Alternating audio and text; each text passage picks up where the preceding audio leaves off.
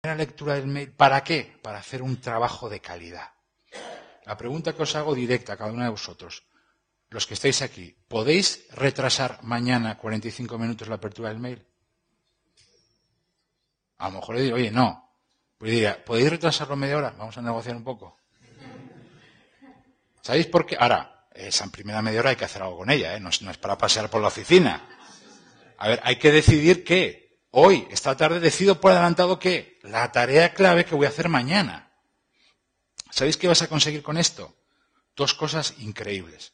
Probadlo. ¿eh? Si no os gusta mañana, podéis darle. aquí sí que se puede rebobinar. Y si no os gusta, volvéis a la situación actual. No conozco a nadie que, no, que lo haya probado y que no haya dicho no me vale para nada. Todo lo contrario. ¿Sabéis qué intenta la gente que lo prueba? Alargar un poco más.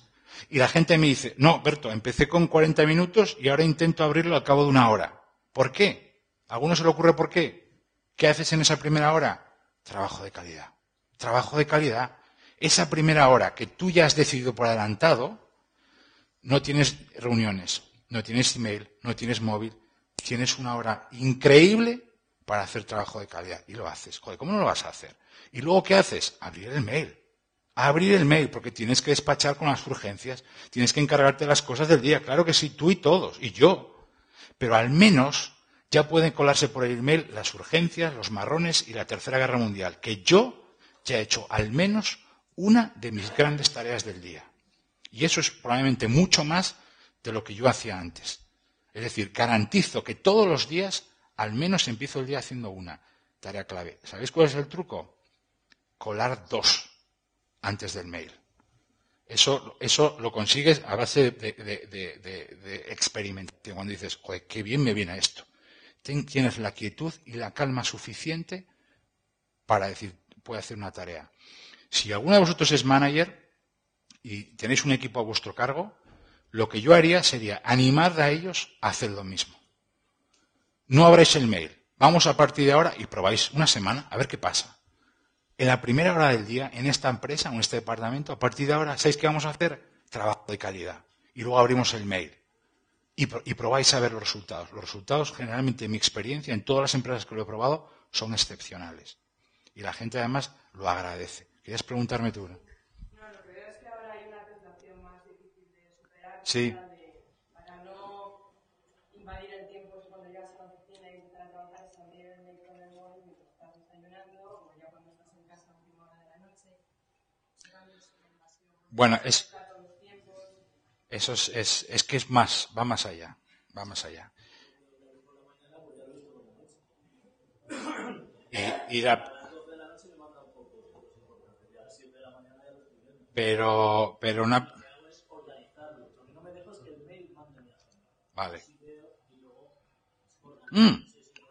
Genial. Genial. Vale, bueno, pero, pero ves, ya ya has hecho una salvedad que para mí es fundamental. No dejo que el mail me enmarque la agenda. Es decir, yo tengo una serie de tareas que para mí son intocables, son sagradas y que sé que las tengo que, que trabajar en ellas. Exacto. No, es genial, es genial. Si tienes la, si tienes la capacidad suficiente para decir, eh, no voy a dejar. El problema es que yo, por ejemplo, no tengo esa capacidad. Es decir, yo me dejo enredar por el mail. Llega un mail y el momento que voy a abrirlo solo un minuto. Es como cuando vas a entrar a un periódico y voy a ver solo los titulares. O voy a un blog a ver, a ver si hay algo nuevo. Te has perdido ya. Es un clic, otro, otro, pum, pam, 20 minutos. Joder, se me ha ido el tiempo. Es lo mismo que el mail. Ah, voy a contestar a este. Contestas a uno, contestas a 12. Porque va uno detrás de otro. Eh, y, solamente querías abrirlo un segundo. Entonces, si tienes esa capacidad, perfecto. Pero lo que, lo que haces tú es un peligro y es un problema. Una amiga me dice, Berto, hace tiempo, eh, tengo un problema con la BlackBerry. Llego a casa y en vez de estar con mis niños y con mi marido, pues estoy disfrutando una peli, jugando con ellos, estoy, estoy, eh, estoy respondiendo a correos. Y es que además, el, es, que ya yo los veo, ¿no? Porque ahora me, he convertido en una especie de Feliz Rodríguez de la Fuente de, la gente, ¿no? Entonces observo. Entonces estás hablando y, meten furtivamente la mano en el bolsillo y sacan el teléfono y, miran de reojo a ver si ha entrado algo nuevo, ¿no? Entonces, eh, y, contestan furtivamente. Entonces yo le, dije que, tenía que empezar a, cambiar ese hábito, ¿no?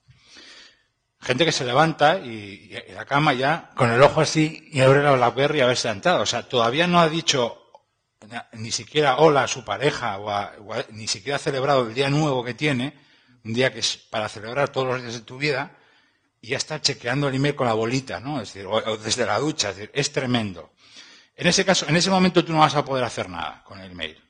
Y lo único que estás haciendo es eh, literalmente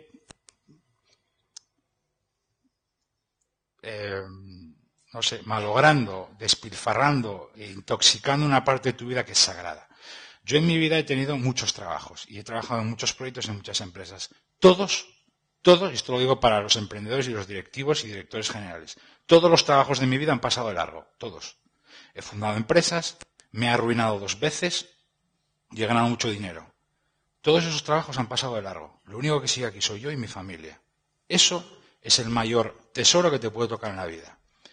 Y hasta que yo entendí eso, me cargué muchas cosas de mi vida personal. Algunas las perdí para siempre y otras las pude recuperar.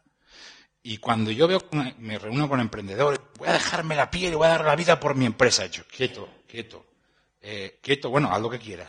Pero lo que yo hice fue dejarme la piel y muchas más cosas, y eso hay cosas que no puedes recuperar. Entonces, yo soy partidario de la tecnología cuando te ayuda, pero cuando intoxique, cuando degrada tu descanso, tu vida personal, tus hobbies, etcétera, entonces es un problema.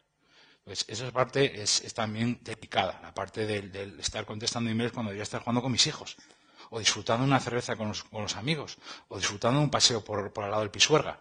Si estoy paseando, estoy paseando. No estoy eh, comiendo, de estás comiendo con uno, ya llegas y te ponen el móvil al lado del tenedor ya. Y dices, bueno, eh, y estás hablándole y es que no está masticando el filete, se está masticando emails, estás viendo que está dándole vueltas al último email que recibió. Se está saliendo, chicos, es que estoy dándole vueltas a esto. Perdemos la concentración, no disfrutamos de las cosas y lo mismo nos ocurre en el trabajo. ¿no? Y el segundo hábito, por, por recuperar un poco el primer hábito, que el email no sea lo primero que hagas mañana. Probad esto, probad esto y me escribís. Yo os dejaré mi email al final. Probad esto y me escribís. Sí. ¿eh? No. ¿Cómo que no? Escucha. No, yo lo, que no haré será leerlo al principio del día. Eso te lo garantizo. Pero es que, a ver, yo leo todo el mail, pero no lo leo al comienzo del día. Y ahora os contaré que no todo el correo es igual, que esa es otra. Y el segundo hábito es reducir el número de chequeos durante el día.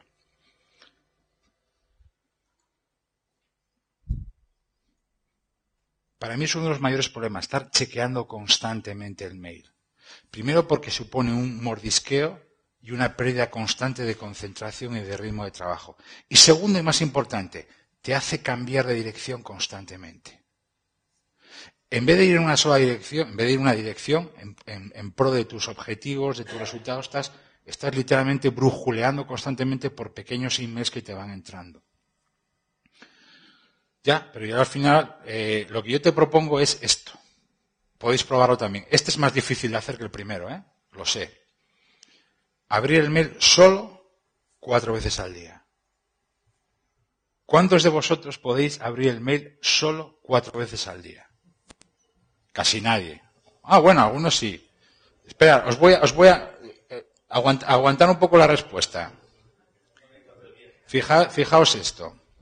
¿Por qué cuatro veces y no tres o no dos? Hombre, si fuera una sería fantástico. Cuatro veces es más que suficiente para lidiar con todo el correo que te entra diariamente. Fijaos en esta agenda que os propongo. Abro una, eh, una vez hacia el comienzo del día. Como veis, yo empiezo la, jornada a las 8 de la mañana y a las 8 de la mañana no abro el mail, es decir, me pongo a trabajar de verdad. Y yo he logrado extender una hora y media. Abro el correo hacia el final de la mañana, antes de comer, por la tarde y a última hora, hacia el final de la jornada. Esto es más que suficiente para lidiar con un volumen de 50 mensajes o de 100 mensajes al día, literalmente. Porque como os voy a contar ahora a continuación, no todos los mensajes son iguales. ¿Cuántos de vosotros recibís más de 50 correos al día? Vale. Ahora la pregunta que os hago es esta. De esos 50 correos, ¿cuántos de verdad son importantes? 10. ¿Y no creéis que cuatro veces al día es más que suficiente para leer diez correos? Sobran. ¿No veis cómo nos vamos? No, yo tengo que estar chequeando. ¿Para qué? Para ver si me ha entrado alguna notificación de Facebook. Joder. Macho, debes, tener mucho tiempo libre, ¿eh? porque eh, ¿veis cómo, veis eh, mi razonamiento por dónde va? Es decir, si tú pones el volumen de mensajes, tú dices, Berto, no me llegan cuatro veces al día. Probablemente no te lleguen ni diez. Ahora, si yo te digo, no todos los correos son iguales. No todos los correos son iguales. Como os voy a contar a continuación. Hay correos excepcionalmente importantes que tienes que ver tres o cuatro veces al día y hay correos que pueden esperar un día o no. No, no recibís a veces correos que literalmente son informativos, newsletters, etcétera, que pueden esperar un día, hasta dos, y no pasa nada. Esa es la clave. Fijaos la diferencia. Esta es, esta es mi agenda de trabajo. Antes, es decir, el, el Berto de antes, cuando chequeaba constantemente el email. Las franjas rojas indican yo chequeando el mail. Yo, cualquiera de vosotros naturalmente. Fijaos la diferencia. ¿Sabéis para qué sirve todo ese espacio en blanco? Para currar, para trabajar, para sacar las cosas adelante. Si yo estoy aquí intentando hacer cosas, ¿cómo creéis que voy a estar concentrado? Es imposible. Eh, trabajo y paro, trabajo y paro, trabajo y paro. Chico, déjame un poco de margen para hacer algo de verdad. Aquí tengo más posibilidades de hacer eh, cosas, eh, sacar cosas adelante. Aún así, aquí tendré marrones, problemas, llamadas, etcétera. Pero claro, si es que entre medias pongo el email, nunca tengo tiempo para nada. Este hábito, este segundo, digo que cuesta un poco más que el primero, porque el primero parece que no abrir el mail, como os doy la franja esa de 45 minutos, va, venga, lo, intento. Sin embargo, todo el mundo me dice es el que más me cuesta poner en práctica, el chequeo. Es decir, porque parece que el cuerpo te pide a ver si ha entrado algo. Cuando tienes clara tu planificación del día, tus tareas, tienes mucho más fácil fijar esos momentos Em, para chequear el correo. Y a mí hay una herramienta dentro de él, y empezamos ya a tecnologizar un poco ya el, seminario. ¿eh? Como veis, hasta ahora no hemos tocado la tecnología, e, era intencionado. Ahora empezamos a tecnologizar un poco ya eh, la charla. ¿Cuántos de vosotros utilizáis filtros o reglas en el correo?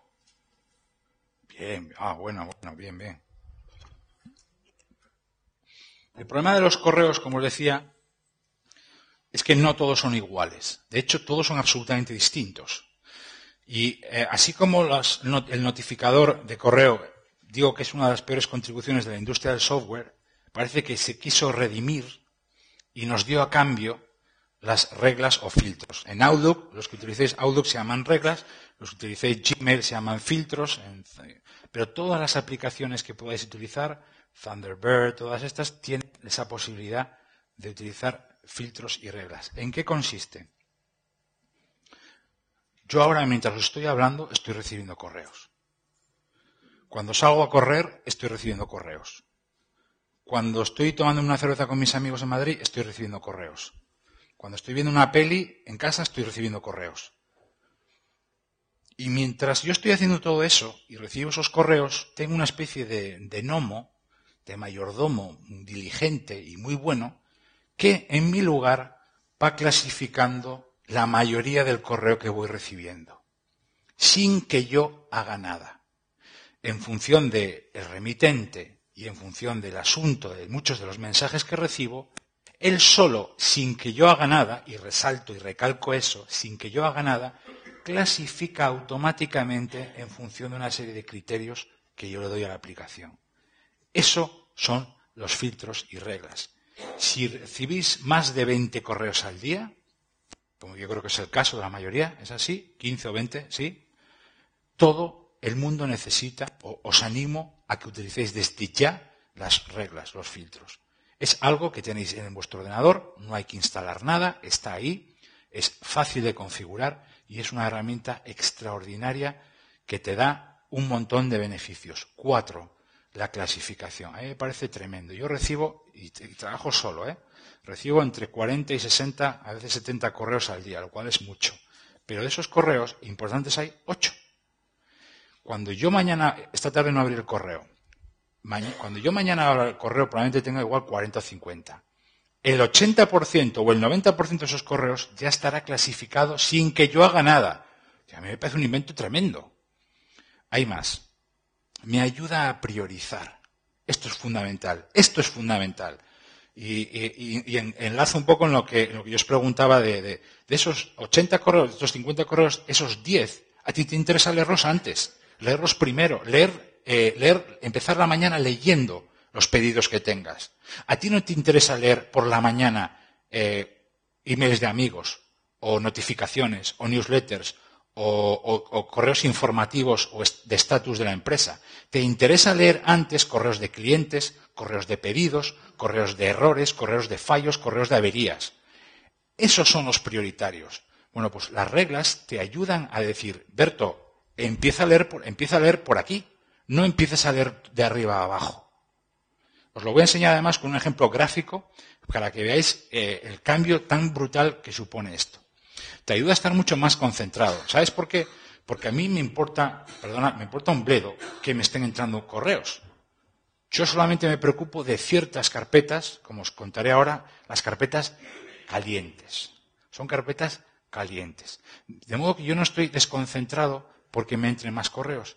Y yo no entro en modo estrés. Si yo abro mañana mi correo y veo 80 correos en mi inbox, vamos, me pongo como un Sputnik, me subo por las paredes, Ahora, si veo mi correo perfectamente ordenado y clasificado, yo estoy en modo, eh, en modo paz, en modo tranquilo.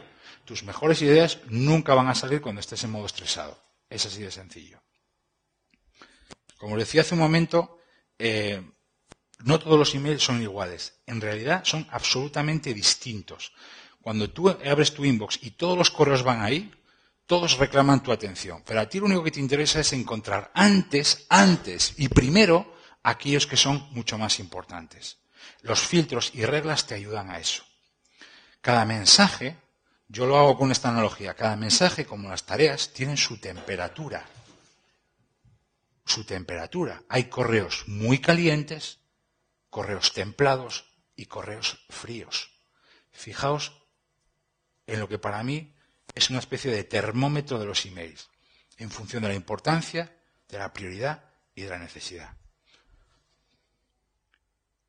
Los correos de mis amigos y mi familia, que yo les quiero mucho, pero en el correo de trabajo yo estoy trabajando. Son correos fríos, es decir, correos que no requieren de mí una actuación inmediata. Pueden esperar, pero yo recibo más correos. Notificaciones. Bueno, ya va subiendo un pelín la temperatura. Siguen estando fríos, ¿eh? Newsletters, algún boletín que me, que me interese leer, pero sigue estando más bien frío. Correos de proyectos y de mi equipo, esto ya va subiendo bastante la temperatura. Y luego ya clientes y jefes, con socios, etcétera, donde la temperatura de estos correos es mucho mayor.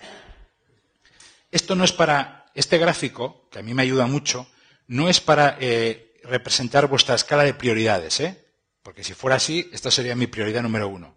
Es para, eh, para mostraros y para mostrarme que todos los correos que recibimos tienen una temperatura completamente distinta. Y que, por ejemplo, esto es un ejemplo, para mí esto de aquí es muchísimo más importante en términos de respuesta que esto. ¿Lo veis cómo, por dónde van un poco los tiros? Es decir, todo lo que entre ahí, para mí, en términos de respuesta, en términos de importancia, de prioridad y necesidad, es mucho más caliente que esto. Esto puede esperar. Bueno, pues los filtros y las reglas te ayudan a organizar todo tu correo en función de esto. Fijaos, en este ejemplo lo vamos a representar como es sin filtros. Yo mañana llego a Madrid, abro mi correo y me encuentro mi inbox, mi, mi buzón de entrada, mi bandeja de entrada con todos estos correos. Catapum, 72.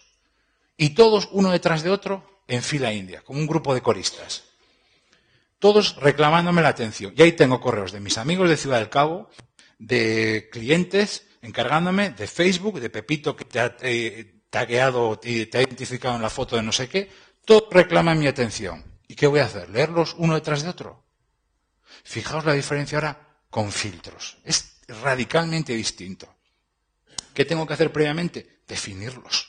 Utilizar en mi aplicación, en Outlook, en Gmail, lo que sea, cómo quiero que mi aplicación organice entonces puede decirle, bueno, pues correos de mi jefe, correos de mi equipo, correos de gente VIP, pueden ser proveedores, pueden ser clientes, es decir, gente que yo quiero, mm, correos que yo quiero ver antes, correos en los que yo estoy copiado solo. Esto es muy importante. No es lo mismo cuando te envían un correo a ti solo que cuando te ponen en copia junto a 10 personas.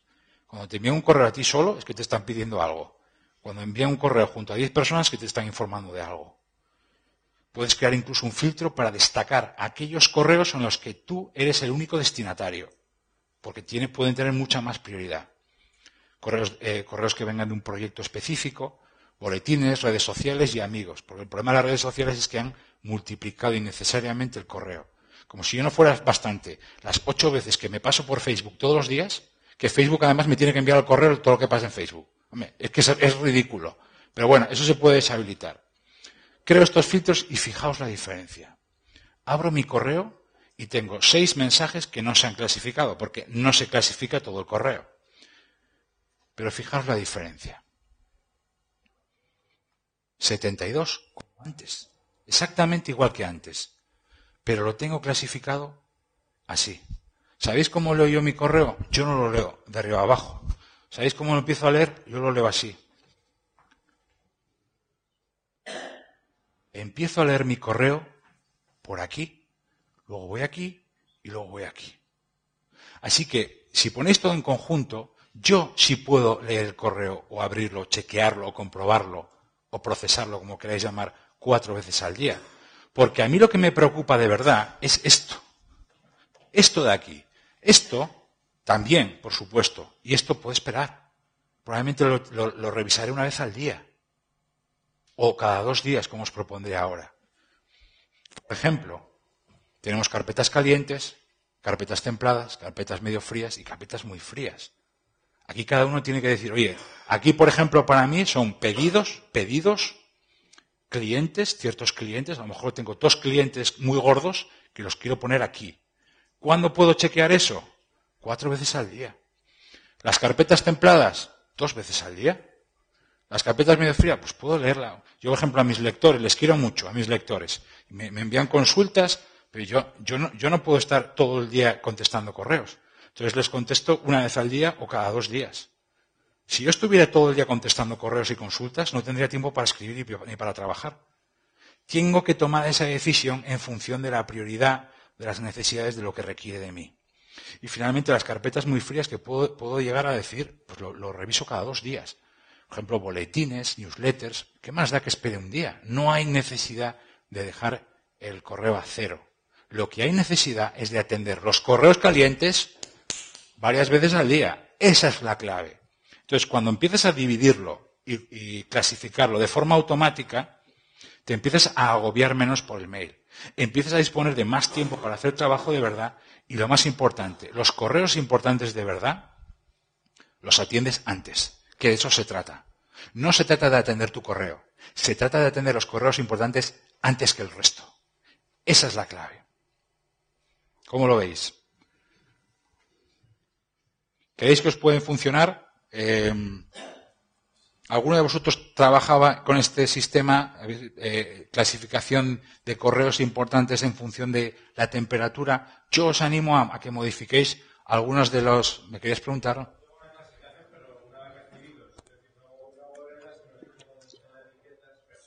Personal, pero lo haces tú manualmente, ¿no? ¿Y no, crees, y no podrías ahí em, fijar algún criterio para que la aplicación te liberara del trabajo? Porque luego hay una, hay una, hay una duda que puede, puede que algunos eh, estéis pensando. No todos los correos que vengan de una misma persona son importantes. Por ejemplo, imaginad que yo trabajo con, mi, con Miguel. Eh, yo no puedo, si yo creo una regla que le diga a Outlook, todos los correos que vengan de Miguel, pónmelos en la carpeta súper importante o VIP. Eso puede ser un error. ¿Por qué? Porque imagina que Miguel me envía un correo y me dice, eh, Berto, ¿quedamos para cenar esta noche? Y me lo pone en la carpeta súper importante. Eso es un error, porque no todos los correos que vengan de él serán importantes. Entonces, ¿cómo hacer, eh, eh, cómo conseguir que la aplicación detecte los correos importantes de una persona con el asunto?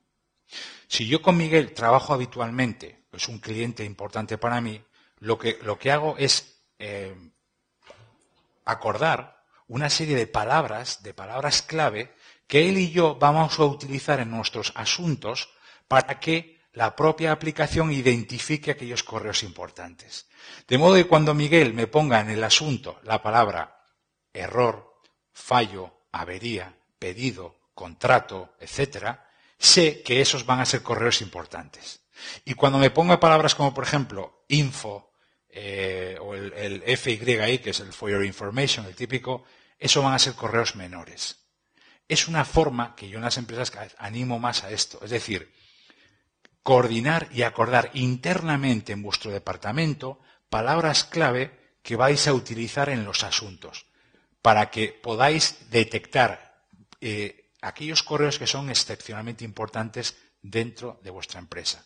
Y si hay un cliente que es importante y con el que os carteáis, con el, el que os emaileáis mucho, podéis decirle, oye, ¿por qué no acordamos un par de palabritas para que yo te pueda dar respuesta antes? Eso le va a encantar al cliente. Se va a encantar, uno le va a encantar. Y a ti te interesa dar la respuesta antes. Porque cuando estás en una empresa de servicios y de atención al cliente, los tiempos de respuesta son críticos. Son críticos. Pero a lo mejor no todos los correos que te envía el cliente son iguales. A veces son comentarios, son consultas, pero que pueden esperar. Y otros son urgencias.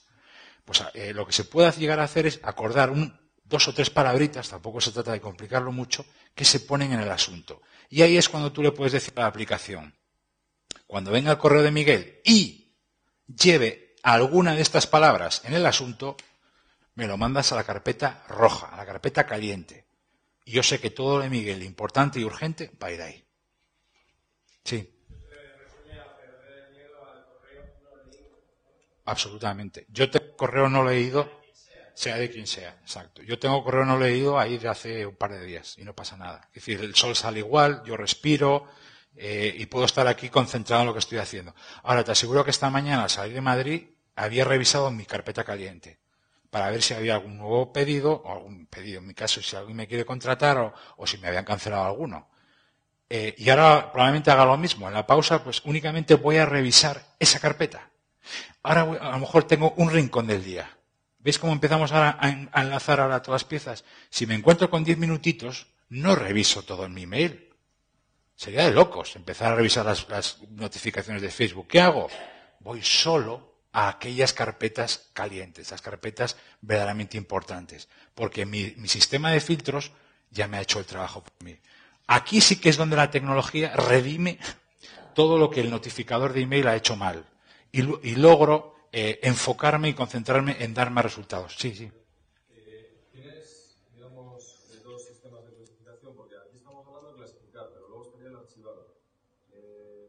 El archivado. Sí. Ajá. Ajá. Yo, yo, yo, sí, sí, sí. Em, yo, yo, no te recomendaría eh, complicar demasiado la organización interna del email, por dos motivos. Em, primero, porque consume mucho tiempo. Segundo, porque encontrar un mail, el mail se ha convertido en una especie de disco duro paralelo. Te envían cosas, te recuerdas que te archivo y vas al mail a recuperarlo. Si sabes buscar bien, y esa es la clave, aprender las búsquedas avanzadas que te ofrece Outlook, las búsquedas avanzadas que te ofrece Gmail, puedes localizar cualquier email en cuestión de segundos. Entonces, em, recuperar cualquier correo de cualquier cliente, si sabes buscar bien, y eso es, es, fácil simplemente utilizar la búsqueda avanzada, no debería llevarte más de 10 segundos. Y esa es una de las claves. Lo mismo que buscar en Internet. No sabemos buscar en Internet. Tú buscas en Google y pones, eh, buscas una palabra, pones Valladolid. Se han encontrado 250 millones de resultados. Ya, yo solo quiero uno. Lo mismo te ocurre con un mensaje. Si tú buscas un mensaje por las bravas, es decir, pones el nombre del cliente, eh, imagínate que yo trabajo con Endesa y pongo Endesa, y me salen 250 correos. ¿Qué voy a ir? No, revisándolos. No. Sin embargo, si acoto la búsqueda y pongo Endesa y le pongo una fecha, porque tú recuerdas aproximadamente cuándo lo recibiste, vas a restringir los resultados, vas a encontrarlo antes. Entonces, salvo que tú veas una necesidad especialmente importante de tener clasificados, eh, hay, personas que tienen clasificados incluso por personas. Yo creo que es demasiado, porque la sensación esa del árbol que se va llenando es, también muy, agotadora. Entonces yo diría, no te mates en organizar el mail, porque sabiendo buscar bien y ayudándote de esto, eh, puedes encontrar cualquier cosa en, segundos, literalmente. Sí. Eh. ¿No recomendarías que al final de la semana checar todos los mensajes enviados, que pueden ser ciertos? A ver, todos los mensajes. No, al final de la semana clasificar los mensajes enviados, enviados a la semana. Yo te diría, yo te diría que no, para nada. Eh, y tienes una necesidad real de clasificar mensajes enviados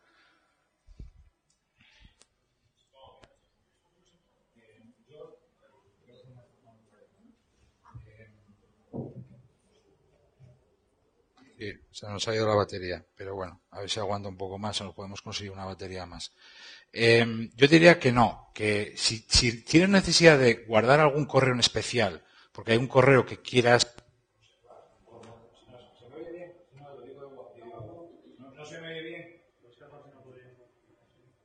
Pues eh, es la batería, que hemos consumido las dos baterías. Si quieres guardar algún correo que sea especialmente importante, Ahí eh, yo os voy a enseñar ahora, después del café, una aplicación que te va a permitir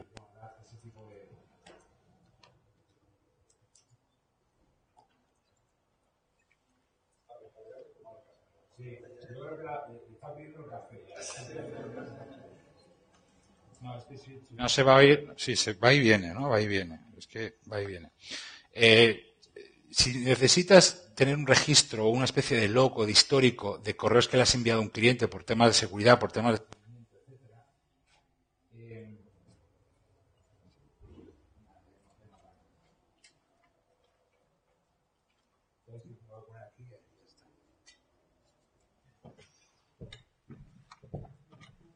¿Se me oye? ¿Aquí? Sí, aquí sí que si necesitas, se me oye, ¿no? Ahora, ¿sí? Si necesitas eh, llevar un seguimiento de, algún de algún cliente especial, hay otra forma, yo os voy a enseñar luego una aplicación que se llama Evernote. ¿Alguna de vosotros conocéis la aplicación Evernote? ¿Sí? ¿Conocéis Evernote? ¿Utilizáis Evernote? Es una aplicación excepcionalmente eh, útil a la hora de llevar un registro o de guardar información en paralelo a otra información que tengas del cliente, ¿no?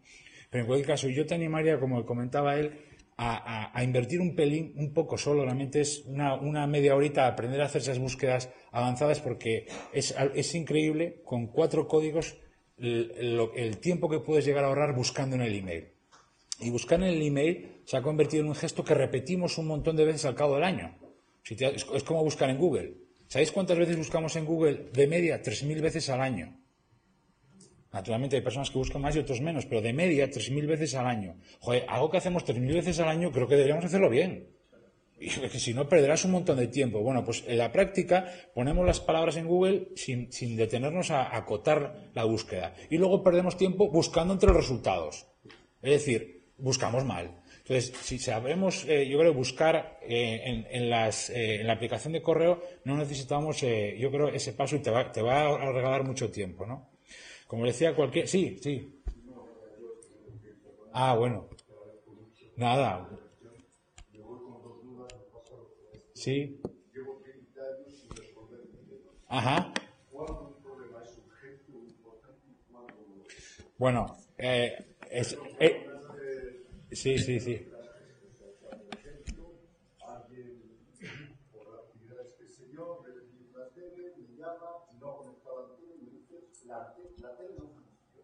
Claro. O sea, no se discernimientos falsos problemas claro, reales. Claro.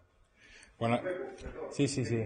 He tenido toda mi vida una dificultad que es el chequeo de internet. Ajá. He aprendido, ahora ya no voy a chequearme al médico, salvo que sea realmente indispensable. O sea, he aprendido tarde, pero ahora lo puedo aplicar. Ajá. Por un tipo de una torta, no voy a.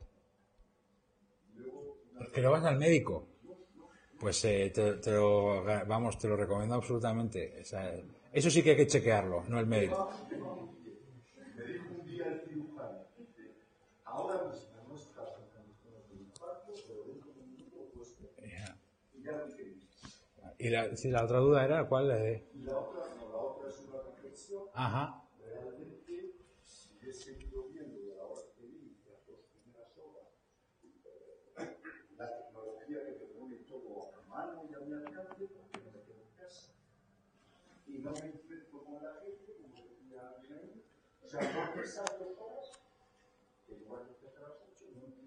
Es que muchas empresas están poniendo en marcha ese, tipo de iniciativas, eh, de fomentar a los empleados, animarles a, empezar el día en la empresa, eh, lo, cual en grandes ciudades, por ejemplo Madrid y Barcelona, Valladolid también supongo, te ahorras los desplazamientos que a primera hora son penosos, son dificultosos y aprovechas las dos horas del día, las dos primeras horas del día o la mañana incluso para hacer trabajo de verdad. Y a veces las empresas mm, dan un día a la semana para trabajar en casa, esto cada vez se estila más. No, no, no, no, es absolutamente algo, eh, algo que se está extendiendo y... Los Claro. Sí, entra por... Sí, sí, sí. Sí, y, luego hay, hay, otro que es divertido, que es que te envía un mail y luego te llama para ver si lo recibiste. Eh, exacto, exacto, sí. Bueno, la, distinguir urgencia e importancia es la pregunta de oro. muchas veces queda en, queda en eh, no hay una regla de oro que puede decir, aplica esto siempre. eh, muchas veces también tiene que ver con nuestra capacidad para interpretar y descifrar lo que nos están pidiendo. Pero si tú a un cliente le dices, oye, ¿para cuándo quieres esto? Te va a decir para mañana. Si tú a un cliente le dices, oye, ¿te puedo hacer esto mañana a mediodía? eso es también una negociación con un cliente que muchas veces fallamos ahí, ¿no? Eh, o sea que muchas veces la prioridad del cliente eh, puedes ayudarle tú también a encontrarla y ganar un tiempo extra sin necesidad de cargarte de urgencias innecesarias. ¿no? A lo mejor el cliente te dirá, no, o vienes aquí ahora y me lo solucionas o cancelo el contrato. Evidentemente, si es un contrato importante, pues tienes que levantarte y ir para allá. Pero muchas veces eh, lo que he descubierto es que negociando, es decir, proponiéndole ya una fecha, decir, oye, estoy viendo mi planificación, ¿podría pasarme por ahí por la tarde? Estás ganando toda una mañana de tranquilidad. Sin embargo, si tú caes en el, venga, voy para allá, vas a ser Mr. Popular, pero te vas a resentir, porque tú tienes también que dar servicio a otros clientes, ¿no?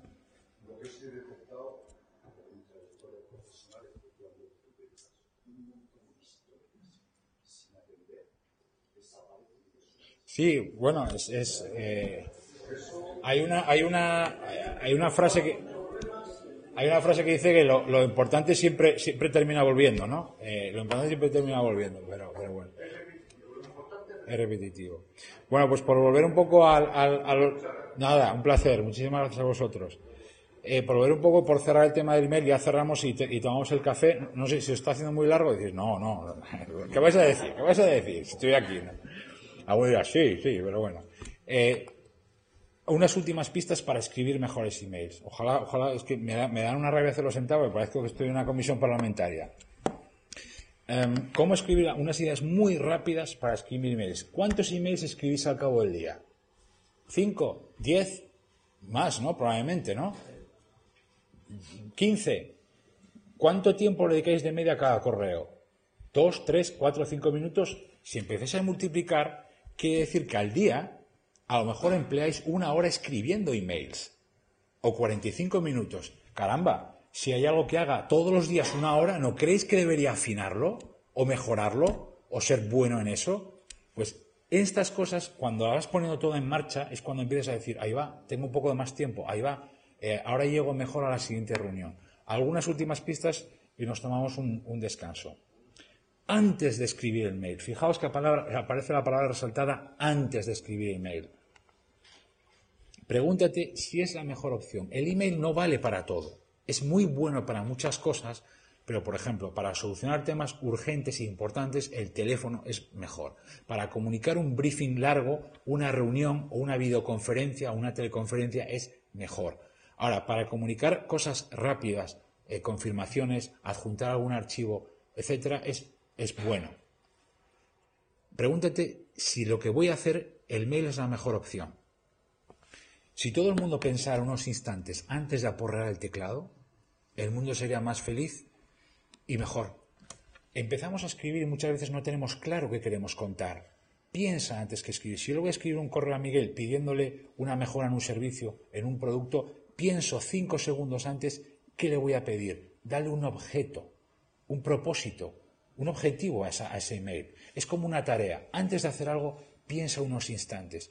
Este es un, gesto que yo cada vez animo más a los profesionales, a los directivos, da igual, empleados, piensa antes de hacer algo.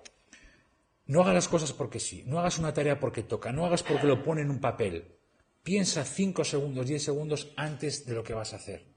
Eh, dale sentido a esa tarea. ¿Por qué? Te va, a, te va a ayudar a enfocarla mejor, a entenderla mejor, a entregarte más si es importante, etc. Y lo mismo con el email. Y así evitarás la sensación de convertirte en una cadena de montaje. Yo durante muchos años me convertí en una cadena de montaje, era una cosa, una, otra, otra, pa, pa, pa, pa, pa, y no paraba. El hecho de pararte y decir, oye, ¿qué voy a hacer ahora? Voy a hacer una presentación, voy a preparar una presentación para un grupo de gente que me va a venir a ver a Valladolid. Pues voy a dejarme la piel, o voy a intentar hacer lo mejor que pueda, o voy a poner mis mejores ideas. Voy a hacer facturas. Despáchalas y quítatelo de en medio. El hecho de darle un sentido a algo antes te va a indicar a ti el nivel de energía y todo lo que te tienes que desgastar ahí. Y te va a decir, oye, Berto, esto tienes que hacerlo, pero hazlo rápido. No, Berto, esto es importante, es, tiene mucho impacto. Déjate la piel, echa toda la cara al asador. Esto es importante, esto es menos importante, esto simplemente algo. Ahí déjate la piel. Y lo mismo ocurre en el email. El email, pensar antes te va a dar a ti la capacidad de decir eh, qué quiero contarle, qué quiero pedirle. ¿Quieres preguntar?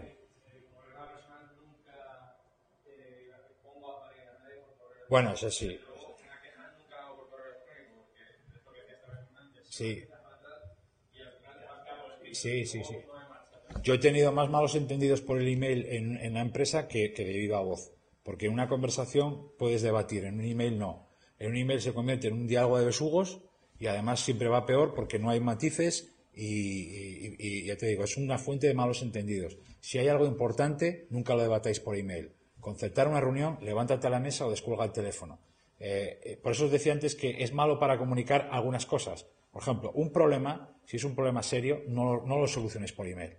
Si es, simplemente un problema de procedimiento donde le tienes que indicar una serie de pasos que tiene que dar, se lo envías por email. Pero un problema un conflicto, solucionarlo por email es generar otro conflicto, probablemente. Hay una iniciativa en Internet que se llama Two Sentences, de, dos frases en inglés, que promueve la escritura de emails en dos o tres eh, frases, en dos o tres líneas. Y es que la mayoría de los correos que escribimos todos los días, la mayoría, los podríamos limitar a dos o tres eh, frases. ¿Cuántos de vosotros tenéis Twitter? ¿Tenéis Twitter? Bueno, hay una cosa, Twitter nos ha dado muchas cosas fantásticas, pero hay una que es maravillosa, que es que nos ha enseñado a sintetizar y a, resumir en muy poco espacio ideas que queremos contar. Pues lo mismo eh, teníamos que aplicar al mail. Piensa que cuanto menos cuentes, más tiempo vas a ahorrar tú y la otra persona.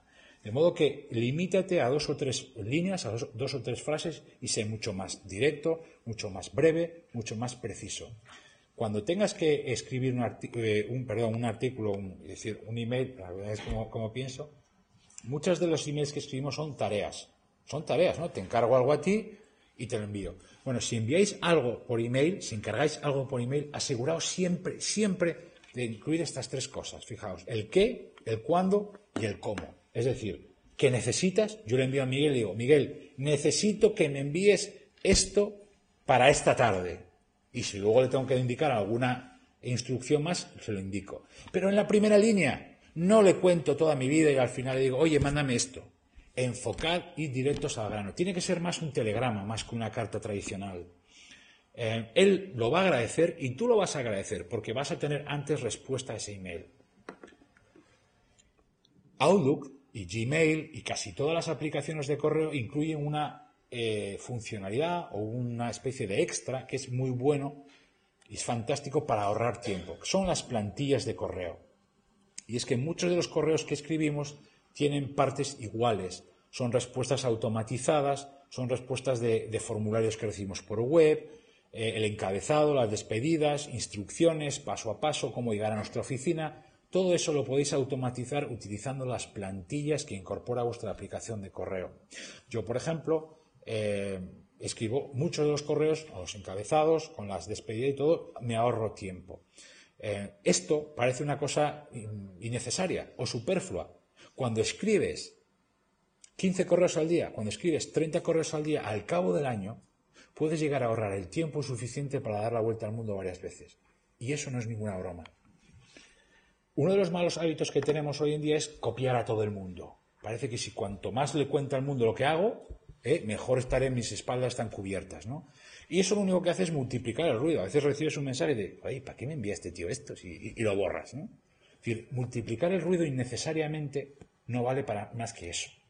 Así que a la hora de copiar, y especialmente esto lo digo para aquellos que dirigís equipos, ¿eh? cuanto más personas copiéis en el correo, menos fuerza tiene vuestro correo. Eso es una especie de regla no escrita. Más personas copiadas, menos, porque nadie, nadie, nadie se da por aludido y todo el mundo lo borra. Ah, pues conmigo no va. Si tienes que enviarlo, es mejor a veces enviar dos correos directos a una persona, aunque parezca que perdéis más tiempo, pero es mucho más efectivo. Y finalmente, lo que para mí es una regla de oro, como os decía, el asunto. El asunto del correo es clave cuando intentas encontrar una respuesta rápida y que prioricen bien tu correo, tu mensaje. En periodismo, no conozco ningún periodista que empiece la noticia por el titular. Se redacta primero la noticia y al final, cuando ya has contado lo que querías contar, le pones el titular. Por eso las aplicaciones de correo están mal diseñadas. ¿Qué es lo primero que ponemos? El no, primero ponemos el destinatario, luego el asunto y al final el mensaje. Por eso a veces recibimos correos que en el asunto ponen una cosa y luego dentro ponen otra cosa completamente distinta. ¿Sabéis por qué? Porque a lo mejor esa persona empezó a escribirlo, escribió el asunto, le interrumpieron, se fue a comer y acabó el correo por la tarde. Lo dejó ahí abierto y lo termina por la tarde. Entonces por la mañana quería contar una cosa y luego por la tarde contar. Entonces, el asunto es la síntesis, el resumen, como el titular de lo que le acabas de contar. Y esto es muy importante, porque si yo a Miguel o cualquiera de vosotros os envío un correo, el asunto te va a decir a ti esto es un correo excepcionalmente importante, ábrelo antes y ábreme. Y como os ponía el ejemplo antes de los filtros, si yo acuerdo contigo una serie de palabras, el asunto le va a ayudar a mi aplicación a que organice y clasifique y priorice los correos. Y estas son algunas de mis ideas para mejorar. Yo puse antes dominar, y lo, lo digo con toda la honestidad, no, no, no intento, intento ser comedido a la hora de utilizar el lenguaje, pero yo sí he logrado dominar esta especie de, potro desbocado que es a veces el email, ¿no? Bueno, tomamos un descanso. Si hay alguna pregunta más, si no, bueno, tomamos un descanso.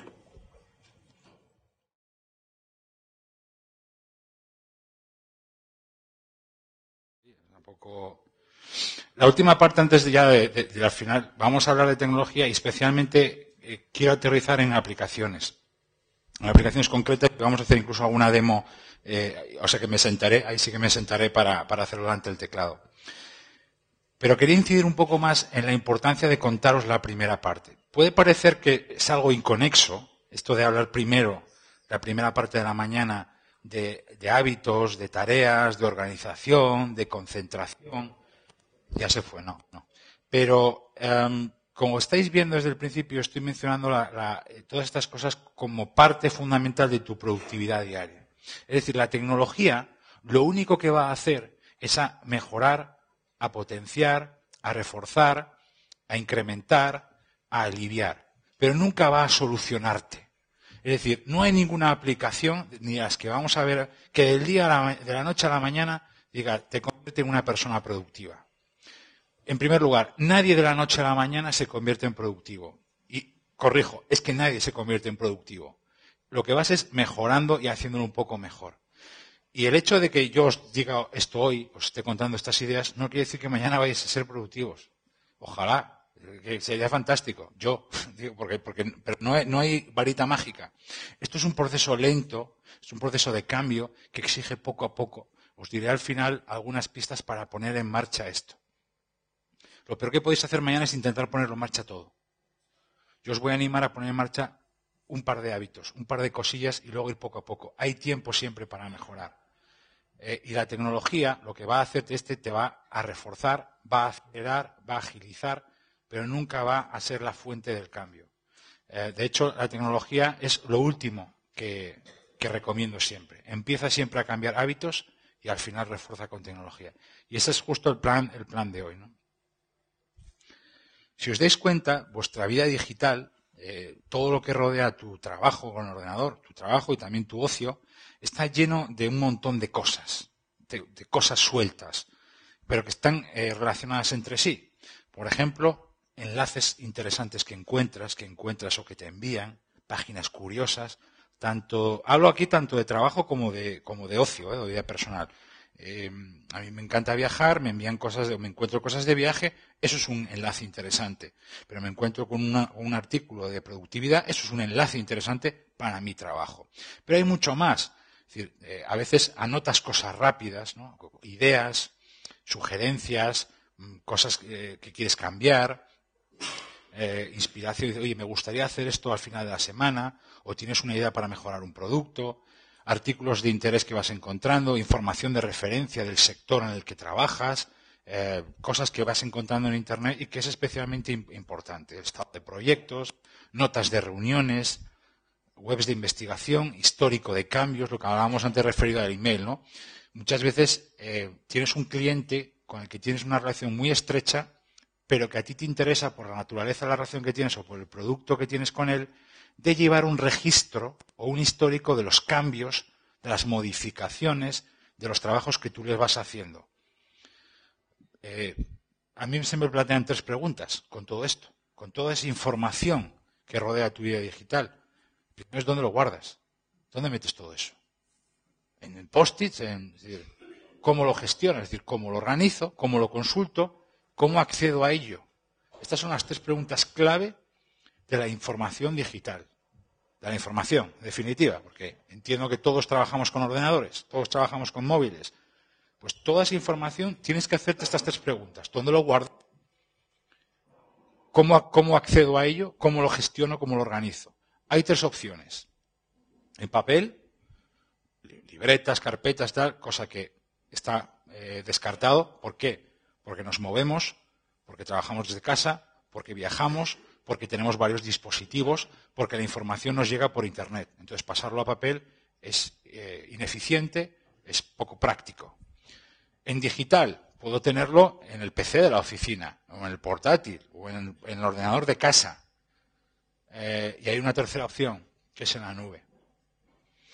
Y parece mentira, pero hace dos días Apple eh, presentó, no sé si habéis visto las novedades de Apple, que hace una, eh, apuesta definitiva por el trabajo en la nube, el cloud computing. Antes, Miguel, me fijé que uno de los libros blancos que tenéis publicados era cloud computing. Lo vi ahí, o sea que perfecto. Podéis acceder a esa información. Esta para mí es la forma de trabajar correcta, productiva, eficaz, eficiente, rápida y cómoda para todos, especialmente si trabajáis con más o con menos. Yo trabajo en la nube y trabajo solo. La, eh, presentación que estáis viendo ahora no está en mi ordenador, está en Internet, está en la nube.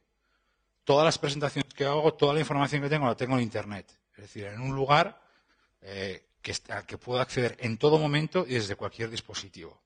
Esta es la clave, porque nuestra vida ya no se limita a una oficina, ya no se limita a casa. Tenemos el ordenador, pero tenemos el portátil, tenemos luego un tablet, un iPad o un Android o lo que sea, un Samsung Galaxy o lo que sea, y tenemos un teléfono.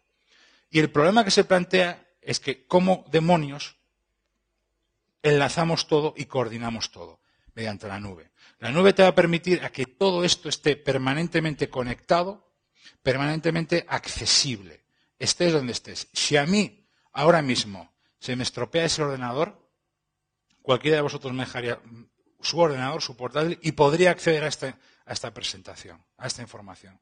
Eso es impagable. Hace poco fui a una reunión en Madrid, en la, Torre Picasso, eh, y estaba en la reunión y me, dice, y me dice uno de los señores, no, Berto, es que no te puedo dar esa información porque no lo tengo aquí, lo tengo en el ordenador de casa. Y dije, Dios mío, en el siglo XXI nadie puede decir eso. Con la cantidad de opciones como las que vamos a ver ahora, donde eso es un pecado mortal productiva y profesionalmente hablando. Tú no puedes decir, no tengo esa información aquí. Tu información tiene que estar a mano. La única información que vale es la información que se encuentra. Si no, no vale para nada. Y esto es lo que te permite la nube. No se pierde, no se pierde. Hay una de las, eh, es segura, bastante más segura que tu ordenador. Yo he perdido más información por discos duros míos que han cascado que, por, en la nube. De hecho, la nube nunca ha perdido ningún dato. Sin embargo, he perdido datos por discos duros míos que se han estropeado. Es seguro, es cómodo, es eficiente. ¿Cuántos de vosotros conocéis o utilizáis, corrijo, esta aplicación? Evernote. Vale. Os quiero hablar de esta aplicación. No me pagan, pero deberían. Eh, no, es una aplicación que ha cambiado la forma de trabajar de, millones de personas en el mundo por eh, lo que hace, lo que permite hacer. Vamos a ver algún caso práctico. Y más que la, aplicación, que os la recomiendo, yo no soy muy de recomendar aplicaciones, pero esta, eh, por varios motivos. Primero porque es gratuita, aunque tiene una versión de pago, pero es, gratuita, con lo cual la podéis probar. Vale para Windows, vale para Mac, vale para los dispositivos móviles que os veo que utilizáis. Em, y te permite hacer muchas cosas. Básicamente actúa como un gran almacén central donde metes toda la información que rodea tu vida digital. Todo lo que os ponía antes enlaces interesantes, ideas, notas de reuniones, histórico de cambios, em, ideas y sugerencias, eh, referencias, direcciones, todo eso está en un mismo sitio al que accedes desde tu casa, desde tu trabajo, desde tu móvil, desde cualquier ordenador, porque también te ofrece una versión web. ¿Qué cosas puedes guardar ahí? Pues básicamente texto, pero también te permite eh, meter imágenes, te permite meter listas, te permite meter audio, etcétera. Yo doy clases en, el SADE, en Madrid y Barcelona. A los alumnos de la Escuela de Negocios les, animo a que graben mis, cursos, en mis charlas, mis clases en, audio y lo incorporen a su Evernote, añadiendo apuntes. ¿Qué consigues con eso? Pues puedes tener el audio de una reunión, el audio de una videoconferencia, junto, o el audio de una teleconferencia junto a tus notas. Puedes guardar PDFs, puedes guardar enlaces, puedes guardar listas y mucho más. Como os decía, vale para prácticamente cualquier dispositivo que tengáis. No vale para Linux y además no lo Si alguno de vosotros es usuario de Linux, ¿hay algún usuario de Linux? Vale, hay alguna solución, luego te la comentaré por si te interesa, pero ellos han dicho que de momento aplicación nativa no la van a lanzar, pero sí hay una especie de, no de patch, pero sí que se, se puede Parece que hay un, hay un con, un Java, se puede, con una aplicación Java se puede ejecutar. Eh, ahora, para dispositivos móviles, como veis, para todos, y todos son eh, gratuitos. Vamos a ver, voy a poneros tres ejemplos prácticos para veáis cómo se puede utilizar esta aplicación o este tipo de aplicaciones en un entorno real, diario y cotidiano, con tres ejemplos muy prácticos. En un producto o en un servicio que yo, que yo tengo con un cliente, en un proyecto, en un proyecto de trabajo. Dos, en un viaje que voy a planificar, por ejemplo, a París. Y tres, eh, para organizar las cosas de casa. Porque esto no solo vale para trabajar, vale también para las cosas de casa. Yo aquí en mi Evernote tengo desde recetas de cocina hasta la medicación que tengo que tomar, hasta el nombre, tengo un problema en el oído y tiene una medicación, hay una medicación, tiene un nombre tan raro que cuando eh, voy a, la farmacia siempre se me olvida, entonces saco el móvil y se lo enseño directamente. Es, tan sencillo como eso. Eh, puedes tener toda la información que rodea. En vez de tener toda esa información esparcida por mil sitios, la tienes siempre en el mismo sitio. No tardas nada en encontrarla, no tardas nada en utilizarla. Vamos a ver el ejemplo de cómo utilizar Evernote o este tipo de aplicaciones con un proyecto de trabajo. ¿Qué puedo guardar ahí? ¿O cómo lo, cómo lo organizaría? Permitidme que voy a cerrar un momentito la puerta.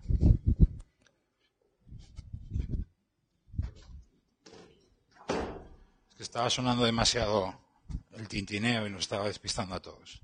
¿Cómo organizar el proyecto de trabajo con Evernote? ¿Qué información puedo guardar ahí?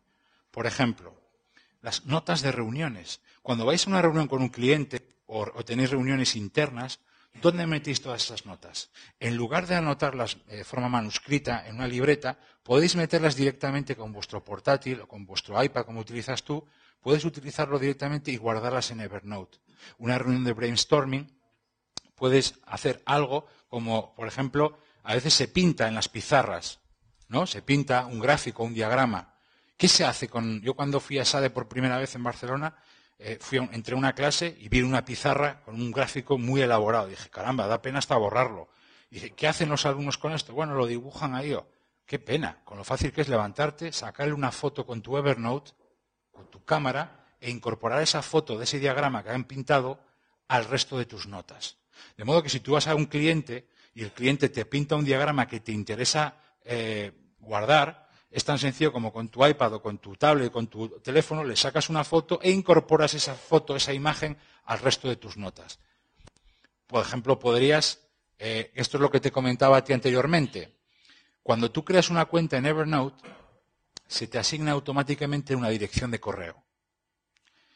De modo que todos los correos que tú le envíes a esa dirección tuya, que es única, la aplicación los convierte automáticamente en una nota. De modo que si tú me envías